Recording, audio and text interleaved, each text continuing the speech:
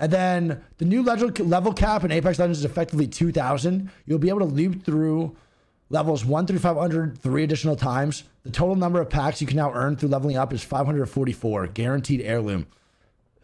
That's pretty cool. Once you get a guaranteed heirloom.